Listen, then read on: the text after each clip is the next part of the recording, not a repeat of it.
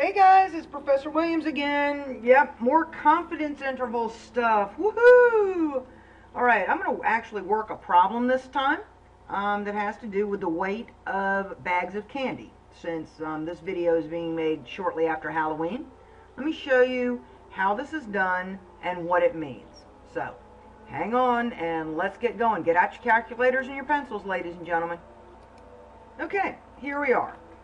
We all know that a three pound bag of candy doesn't really weigh exactly three pounds. Um, so what we do is we go in and we sample 36 bags of candy and we weigh them.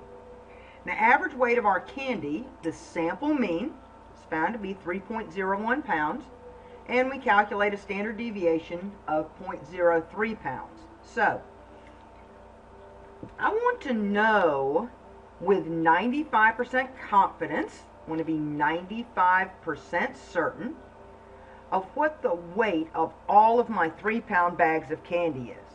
So what I'm trying to do is I'm trying to set of two values a low end and a high end in between which 95% of all of my bags of candy will weigh.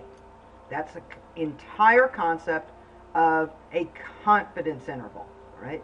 I want to be nine, I want to know the upper and lower values or weights between which 95% of all of the bags of can three pound bags of candies in the universe is going to fall. So let me show you how I'm going to substitute in to this formula. All right, let's see what we're going to get. Sample mean is x bar, isn't it?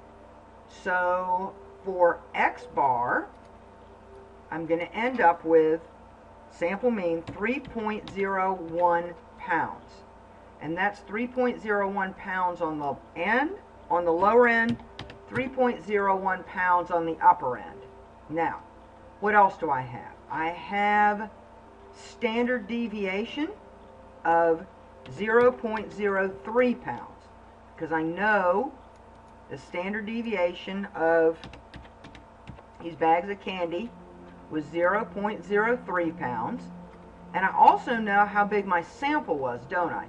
I know that my N, or my sample size, was 36. So, almost done. Almost done.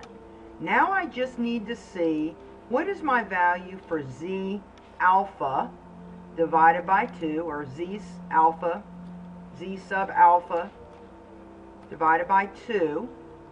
Remember, this is the idea that 95% of my data is going to fall in between these two areas.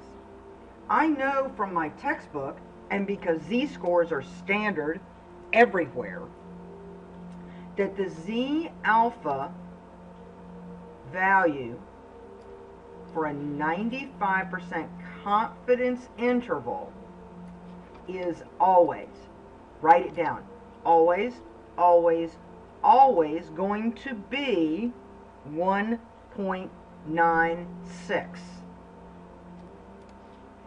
So I'm going to substitute in here 1.96 here, 1.96 here. Why is it 1.96 other than the fact that I just told you that it's always, always, always 1.96? It's because what this represents in terms of my curve, it means that 95% of my data is going to fall here. That's supposed to be even, so just roll with me here, guys.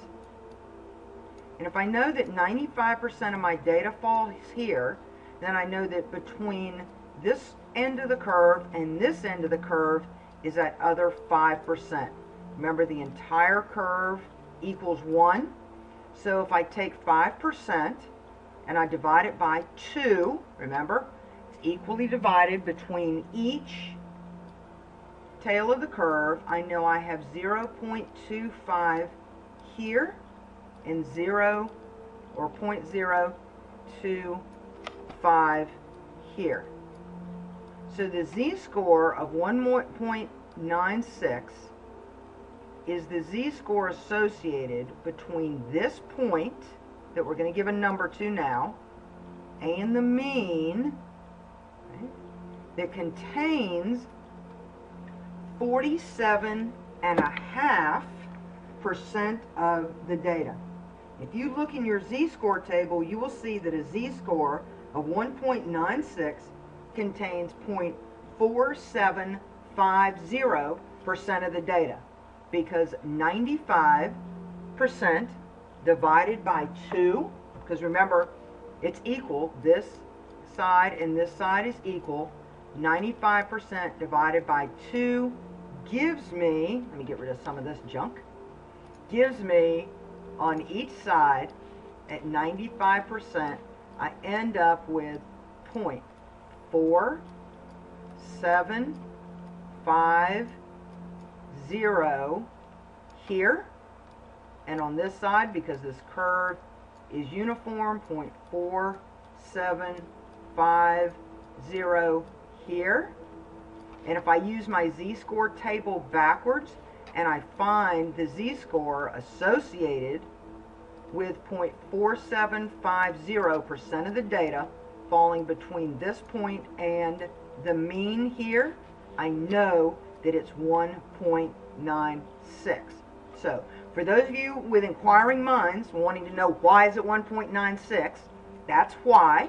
It allows us to solve for any confidence interval, but for the standard ones, for 95, 99, 80, you can go ahead and solve once and then simply slip these values in every single time. So let me do a little bit of math magic and solve this for you.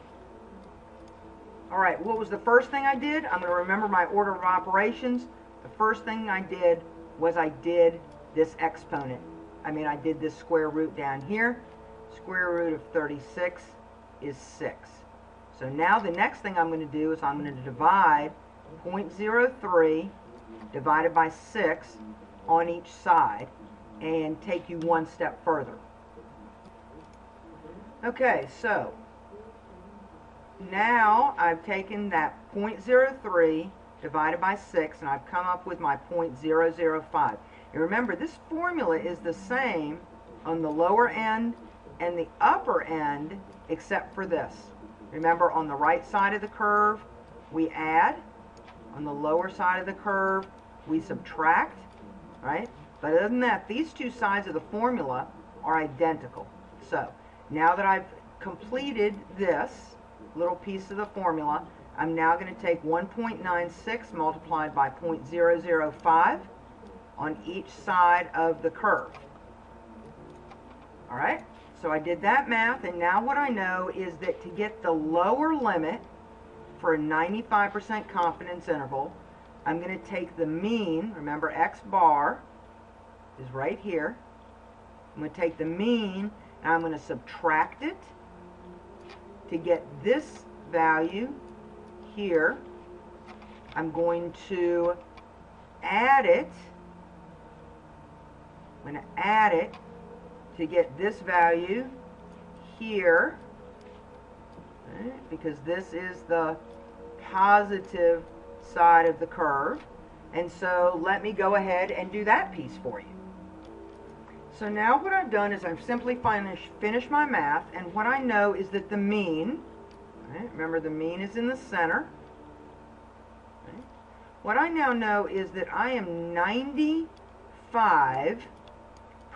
certain that the true weight or the weight of all three pound bags of candy is between, the average weight is between 3.0,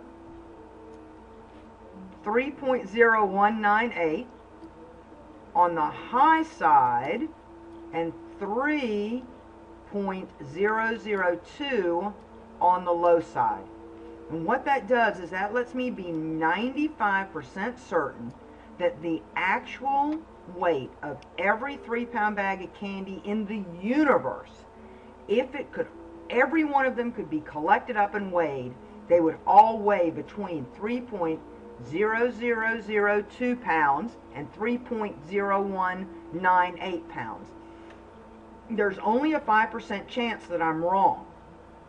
And remember that 5% chance is split between half of my mistakes being on the high side and half of my mistakes being on the low side. So, in conclusion, the 95% confidence interval for the weight of all three pound bags of candy is going to be right here. So, hopefully this helps, and I will see you guys around the um around the chalkboard. Have an awesome day.